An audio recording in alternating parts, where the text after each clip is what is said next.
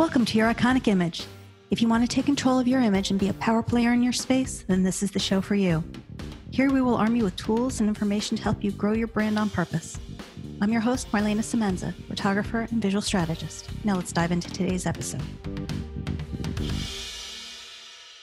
Shavannah Speaks Moore is a portrait of resilience and grace. As an entrepreneur, speaker, life coach, and corporate master trainer, her goal is to empower women and leaders to become all that they desire. She has broken boundaries, challenged the status quo, and will soon be gracing our television screens with her new show, Limitless Living with Shavannah Speaks Moore on CBS. Welcome, Shavannah. Hello. Thank you so much for having me. So, you know, I, I know people look at you and where you are at this stage in the game and think it must have been easy. You know, there have been no obstacles that you've overcome, but I know that you certainly have. So, why don't you talk to us a little bit about what it took to get to where you are? Oh boy, where do I even start with that? So, um, you're absolutely right. So, a lot of the times, you know, on this journey that we travel, a lot of people see your success and they have no idea what the story is behind that success. So, for me, I guess without going too much into my backstory, um, I grew up in a little small country town out here in North Carolina. I grew up with my grandmother. I stayed there until I was about 13 years old. And then I came where I am today in North Carolina to live with my mother. So throughout my childhood, there was a lot of things that I encountered um, that children should not have encountered. Uh, absolutely with no fault to my grandmother, of course, but just things that we encounter growing up as children, you know, such as molestation and living in poverty and things that I really um, had no idea that was happening at the time because we made the best of what we had, right? Because I didn't know any better at the time. So I transitioned and came here to live with my mother and it was almost like that was a turning point for me because I feel like that's kind of where my life took a turn for the worse. Um, for better lack of words, where I kind of started getting access to the street life and, you know, alcohol and sex and just all of the things that I feel that as teenagers, a lot of us experience, but I've experienced a lot younger. So I feel like I grew up really quick, um, if that makes sense. So basically, you know, I traveled that journey. My life took a turn for the worse, and at that point, it was it was almost like I was either going to end up somewhere dead or locked up, or you know, it, it would have been a bad journey for me. I'll say that. So. I ended up getting into corporate. I got a background in mortgages, so I started traveling down the corporate journey, and and things started to really unfold for me. And then I started to see things from a different light. I started to see possibility. I started to really see another side of life that I had never had access to before. So once I started doing my corporate journey, I got into mortgages. I, re- I literally like raised the ladder really quick in the mortgage industry. And then back in 2013 is where my journey really started because that's when I was laid off from my corporate job at Wells Fargo. I kind of jumped into entrepreneurship head first.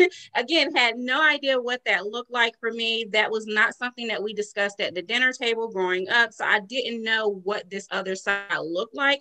I just knew I had to figure something out, right? So I jumped in head first, got into entrepreneurship, struggled really bad at first, but then something happened and my career just took off. And then it was like the next year, we were on an up and up. So we started traveling the world. People started asking me to share my story because it just didn't make sense for this little girl from this little country town that had all of these things going on to be where she was. So then I started writing books and people wanted to hear more about how did you do this, right?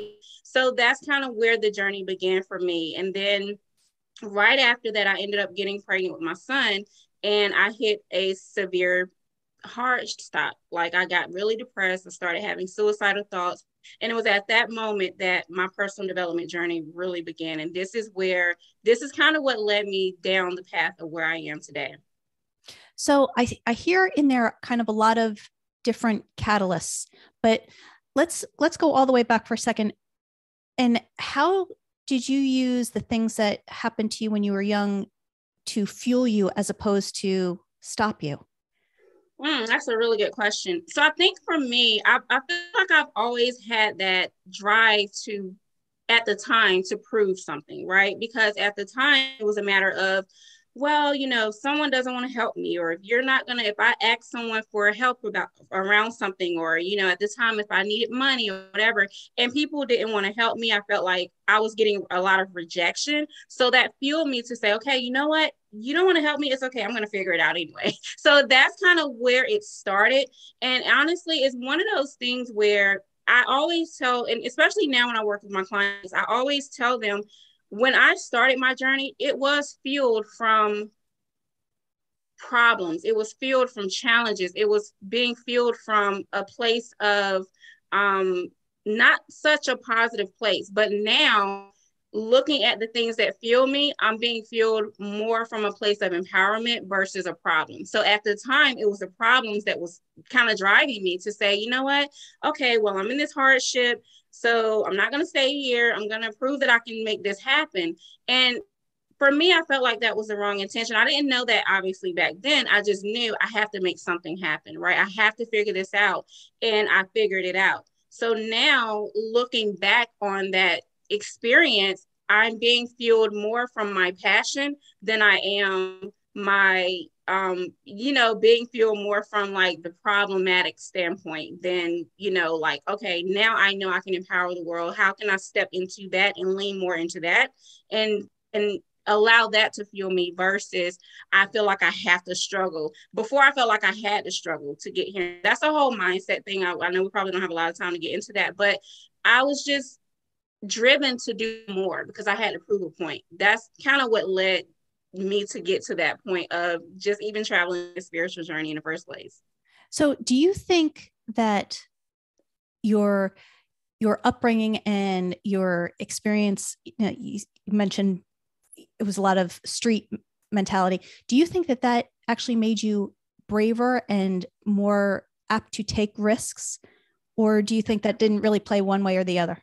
Yeah, most definitely. It, it definitely did. And one thing that I can take away from that is just in it's almost like in that environment we have to find a way you had to figure things out so i think just having that grit of resilience so to speak that kind of carried oh that's one thing i'm glad that i was able to carry to entrepreneurship because a lot of entrepreneurs get into this journey and they think oh i get i hit one hardship and i'm just going to give up I didn't have that in me. I never had a spirit of giving up in me because I had to figure it out from a young age. Um, and then when I started having children, it was one of those things where I was struggling so bad. I was like, oh my gosh, how are my children going to eat? I have to like have a yard sale. I have to figure this thing out. So I had that determination and that resilience in me from that I guess that space that I was in. So that's just something that really carried me through when it came to entrepreneurship. So now instead of it being from a negative standpoint,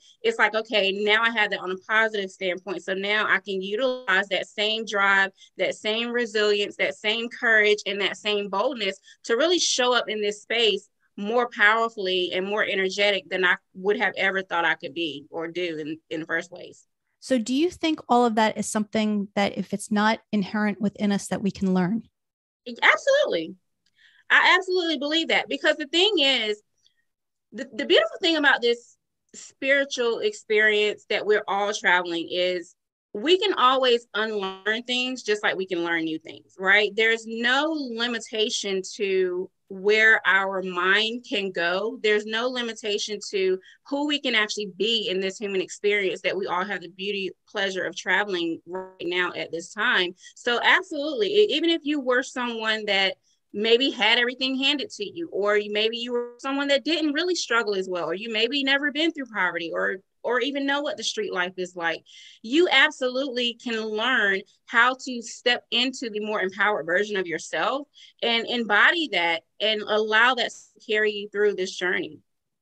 How much do the people that we surround ourselves with have to do with our success? Oh my gosh a hundred percent. Like you you are your relationships. Like seriously because you have to think about everything is energy. Like th- that's one thing that i'm very adamant about in this in this universal time that we're in right now. Every single thing is energy. So if you are around people that are complaining all the time that are you know have a really mediocre mindset that just don't really want to do anything with their life. They say that you are like the five people that you surround yourself around, right? And I truly have found that to be so true because even on this journey, there are people that I had to let go you know, and it wasn't in a way like, oh, I can't talk to you anymore. I don't love you anymore.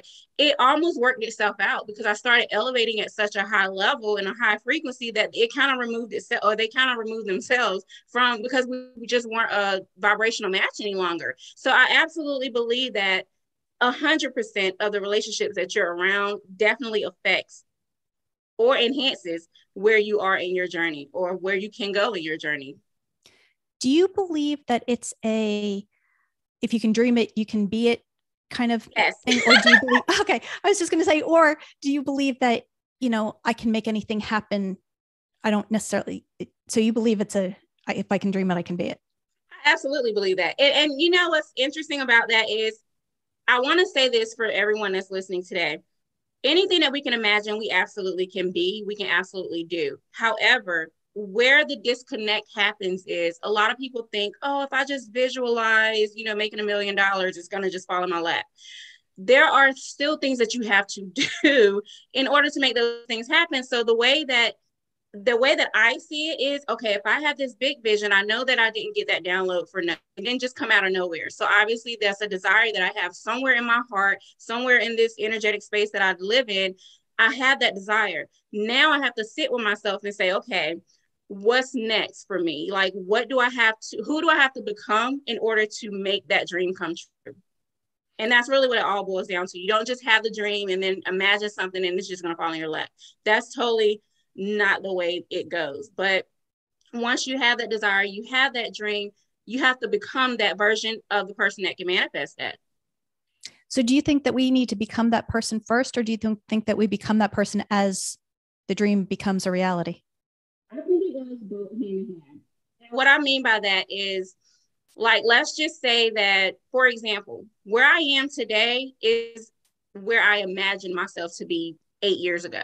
And I'm a big, I'm a stickler for journaling and just I'm a I'm a huge visionary. So all of the things that I'm doing now, I saw this eight years ago and I started to embody that version of Shavannah then, meaning for example, my bank account was like negative four hundred dollars eight eight eight plus years ago. So when I would journal, I would journal as if I was already that version of Shavannah. So I would say things like, "Oh my gosh, I'm so happy and grateful to be living in, you know, this beautiful home, meeting with my clients on a daily basis, having mimosas and margaritas and just, you know, having sushi dates with the girls, you know, while everybody's at work." So I already was embodying that energy before I actually became this person. And even though realistically in my life at the time, from what my human brain could see or think, I was negative in my bank account and it just didn't make sense to me,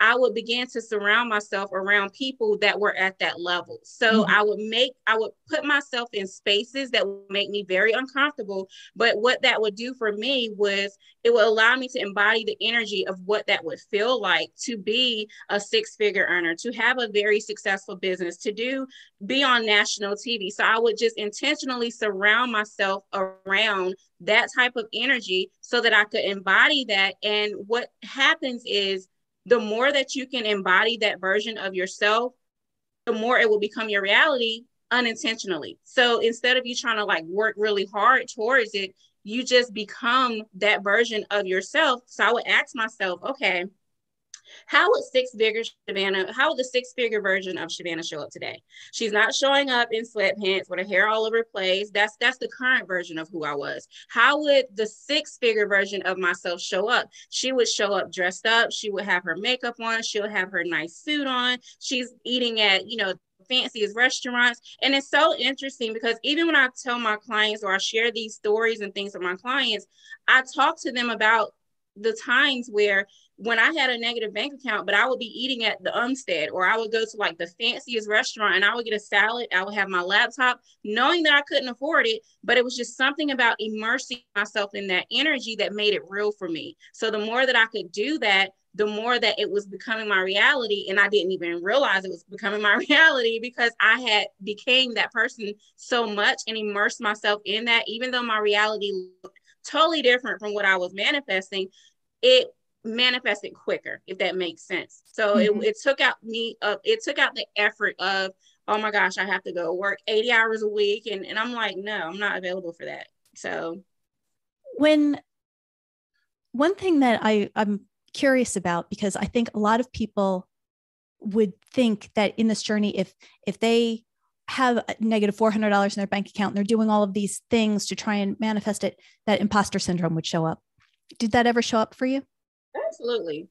Most definitely. Um, I guess for me, it, it was very interesting because even though there was a sense of, so for the record, at this point in my career, I, I no longer subscribe to the belief of the imposter syndrome. I'm just not available for it because mm-hmm. I have such an awareness now of the fact that I create my reality. However, eight years ago, you couldn't, this was like a foreign language to me. But at that time, absolutely, because you have to think about this. Like with me and my background, the way that I grew up, this was this wasn't something that we talked about. It was it was almost like another world for me. So anytime I would see, and I think what really shifted the game for me is when I watched the book or I read the book and I watched the movie The Secret. Once I was aware that there was another way, I was like, hmm, I'm curious about that, right? Let me just try this and see what happens. So that's kind of the space that I was in. So even though my bank account was negative 400, I knew, okay, let me just visualize this. That's when I started doing vision boards and really, you know, and putting myself in that environment and, and implementing these habits and changing my habits on a daily basis. And what would happen is I would hit a block because reality would kick in and say, well, Shavannah, this is not even how you grew up you know you you making six figures what does that look like like you're not even worthy of doing that so when those thoughts come up what saved me was the fact that i had people around me that I had to intentionally surround myself around that would help me elevate my frequency because you can't go through this journey alone. Like, obviously, if you're in a space where you have doubt, you feel like you're unworthy, you feel as though this isn't possible for me. I see everyone doing it, but it's, it's just not possible for me. And you're just in that space by yourself, you're going to stay in that space. So it was so important. And that's why I'm so glad you asked that question earlier about the people you're around. So it was so important for me to surround myself around people that were at a higher level, that thought at a higher level, that operated at a higher level than myself. So when I was in that funk and I knew, like, oh my gosh, I see this vision, I know that it can happen, but I don't believe that I'm worthy of this. Then I can go around someone that's like, hey, you know, we're going to go to Paris this week for four days and then the other week. And it just didn't make sense. But that allowed me to say, man, if, if it's possible for them, I know it's possible for me. Let me keep going. Mm. Does that make sense? It does. How did you find your people? So I started social media was a huge prospect for me at the time. So obviously I started following people on social media that I felt like had powerful stories that were highly successful. Um, and then I would just kind of like reach out to them and, and, build relationships with them. That was one way. The other way was networking. I am a huge networker. So I was like looking up networking events. I was at networking events like every week. Like at the time when I first started my business, I was at a networking event eh, maybe twice a week. I don't know. That's but actually I, how you and I met in the first place. Exactly. Actually, like I am totally a huge networker. So I just started putting myself out there. I was like, I can't do this. I'm going to go crazy if I sit in this house and just not get around people. And I think for me, my energy I, I my energy bounces off other people's energy you right? When it comes to even just like are you an introvert or an extrovert right? I'm one of those people i absolutely love my personal space because i do have to have that sacred space to work and to you know get my mind right for my clients and things like that. But on the other side of that i have to be around people. Like i can't just sit here in this little bubble or I will go crazy. So I started networking. So those are the, I would say, the top two ways that I found people that elevated at a higher frequency and that I found people that were beyond where I was at the time, but were where I desired to be. Do you also think, because I know this is one thing that I've found along the way, is that the the people that you start off surrounding yourself with may not be the people that you need for the next level or the next yes. level or the next level. And I think for me, I think it's very important to keep kind of being open to that next level of of who you surround yourself with. What do you think about that? I totally agree with that. I think for um again, just this journey that we're on, one thing that I'm adamant about is we are all created to evolve. Like when you even look at the universe, the universe expands, evolves every 17 seconds. So as human beings, we are not put here to stay in this little box that we put ourselves in. We are all created to evolve. I feel that our purpose in life evolves as we evolve. Our clients that we work with, as we evolve, they evolve. You know, we evolve to a higher level or higher caliber of clients. With that being said, it's almost like I think I mentioned earlier, like once you are elevating at a, a different frequency, and I know I use the word frequency a lot, but once you, that's just the way the world works. But once you're like elevated at a, another frequency, by nature, it's just law that things that aren't on that level will automatically fall or kind of shift away from you because now you're you're not speaking the same language. And it's not that you're intentionally saying well i'm i'm better than you now or i'm above you now. I can't talk to you anymore. Like i would absolutely never do that. Um however what i have found on my personal journey is the more i elevate so does my circle. The more I elevate, so does the people that I even attract into my circle, right? So now the eight year old and 20 year old version, like old meaning eight years ago version of Shavannah, the people that I would have attracted into my, and the people that I did attract into my experience are totally different from the people that I'm attracting now totally different caliber of people. Um, but again, that comes with me evolving. That comes with how I'm even showing up in the world and who I am being on a consistent daily basis.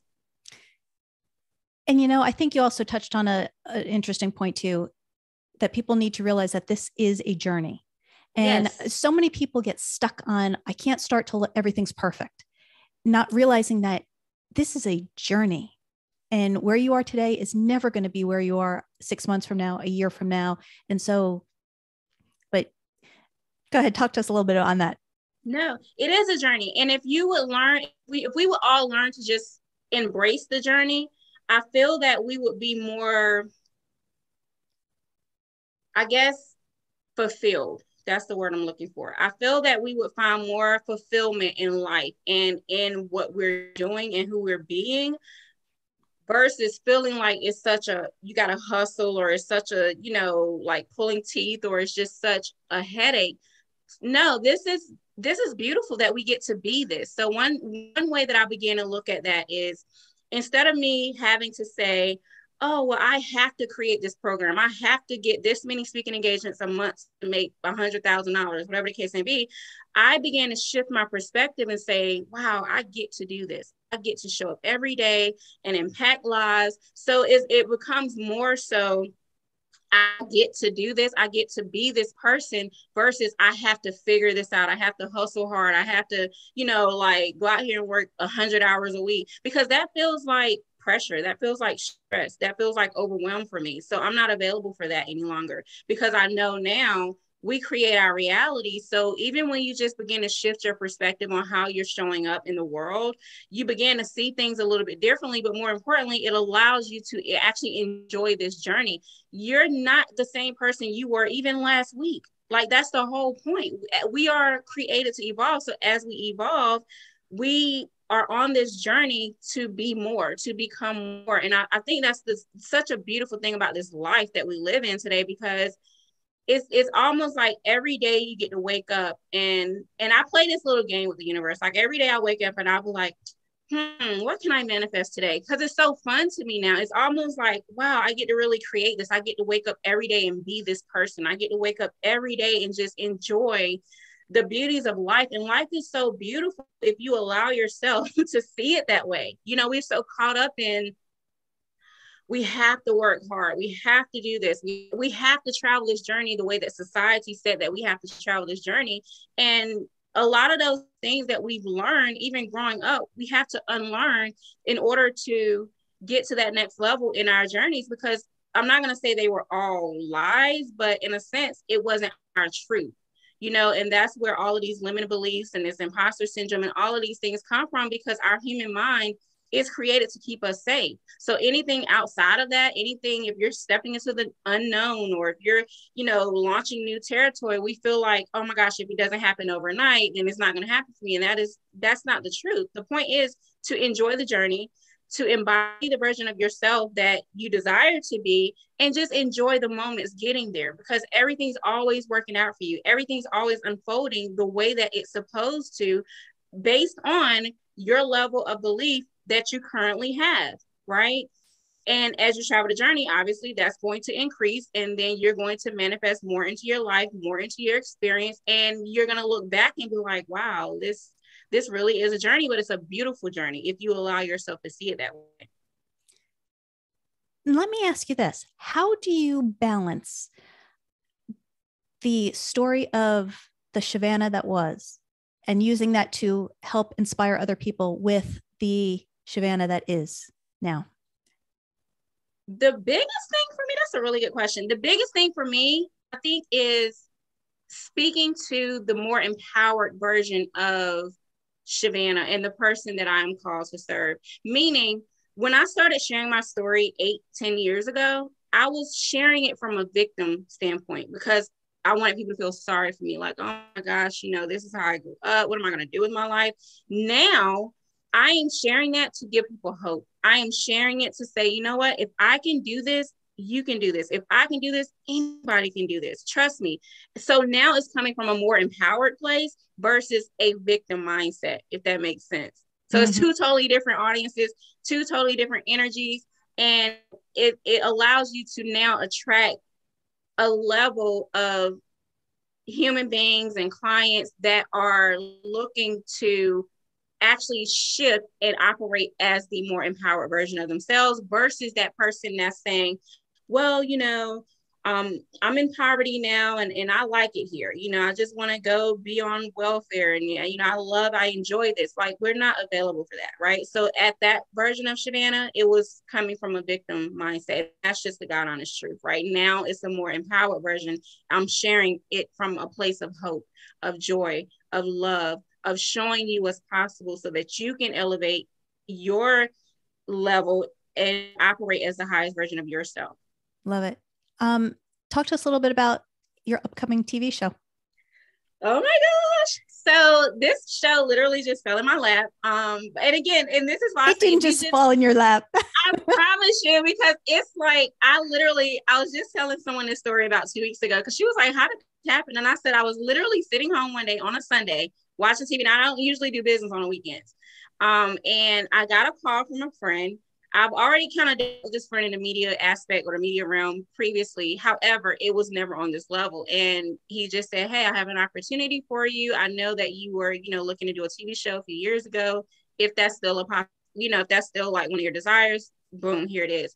And I was like, um, sure. Like at the time I had absolutely nothing together. I just knew that I was called to do something more. I knew that eventually, whatever platform I would end up on, I would be able to make a massive difference in the world. And that that was the desire. It was never really like, oh my gosh, I'm gonna be on TV in front of a million people. But that's just how that's how it showed up for me.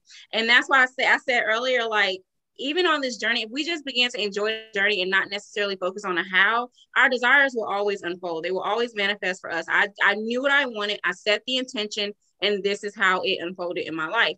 So we're now waiting on the date for CBS to see when the show launches, but it's called Limitless Living with Shavannah Speaks Moore. And it's just really a way to bring a more positive light and a positive energy to the world where people can really share their real life stories around the obstacles, the trials, the tribulations, and their stories around how they got to where they are. Because I think a lot of the times people see us as successful women, influencers, celebrities, your average, you know, corporate woman, and they just see the success. They just see where you are. They have no idea that five years ago you were like in your pillow crying about to like freaking go crazy to get to where you are today. So we are, and I feel that in the media, I want to shift the trajectory of what people see when they see women on TV, especially with African American women. That's just one of the things when people see us, it's always like drama or you have to have it's entertainment. Like, I don't want to entertain you, I want to impact your life, I want to change the world.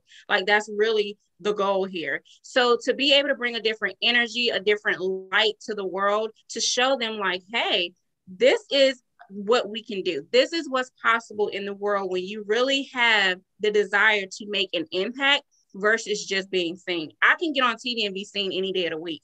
But the goal for me is to make an impact, a long lasting impact that when that woman that sees me and she's sitting here with her three, four, five children and she's about to give up on life and she sees that show and she says, wow, I can't believe this is where they are and this is where they came from. That gives her hope to live her life limitlessly, to let her know that you are a limitless human being and there's absolutely nothing that's impossible for you. Love it. And I can't wait till the show comes out. I'm excited. okay, with that, Shavannah, I just have four final questions for you. First one is what's the best piece of advice you were ever given? Um, the best piece of advice I was ever given. Wow. Um, I would say a mentor of mine told me right around the time I was laid off from Wells Fargo. Um, I remember sitting in a car and I was like crying and boohooing and all of that stuff. And I was like, oh my gosh, what am I gonna do with my life? And da, da, da. And he said to me, You are successful, walk in it and it and it, it didn't really resonate with me until like years later and i was like okay like i'm not successful i just got laid off from my job so it just really didn't hit at that time but when I put the affirmation up on my window in my mirror or my mirror in my bathroom, and I would look at it every single day, and and as I grew into that person, going back to what you were saying earlier, like, do you become that person, or are you going to it? Is it it goes hand in hand. As I was growing into that person, I would look at the affirmation every day and say, Shavannah, you are successful. Walk in it. So that meant for me, it translated to say, own it. Like you mm. are successful, even though your bank account is negative, you are successful. Just own it. Walk in it. Right. So love it share with us one thing on your bucket list. one thing on my bucket list. So, one of the things I really want to do is a retreat. I want to do a retreat for women in a very exotic place, somewhere like Bali or somewhere, and really have women come in there and have a, a an entire holistic experience, um, just from the inside out. And it I want to cater to the entire woman, like your mind, your body, your soul, everything. And that has been something that I've dreamed of doing now for a few years. So I would definitely say that's one of the things that is on my bucket list to do. When the toy companies finally get around to making an action figure of you, what two accessories will it come with? Definitely a hat, because I am such a hat lover, always have been. And more than likely, a, a very iconic piece of jewelry, like a necklace. Love it. And last thing, Shavannah, how do people find you? Like on like on social, social media, uh, website. Anything. Sure. So I'm everywhere at Shavannah Speaks Moore. Everywhere. Facebook, LinkedIn, um, Instagram, and YouTube, which I need to do better at being on. But everywhere Shavannah Speaks, Shavannah Speaks Moore. Love it. Thank you so very much for being here. Sure. Thank you for having me. Thank you for joining us. Once again, I'm Marlana Semenza, photographer and visual strategist. Please comment, like, or share this episode, and don't forget to subscribe so you don't miss a thing. For more information on how I can help you create your iconic image, visit marlanasemenza.com.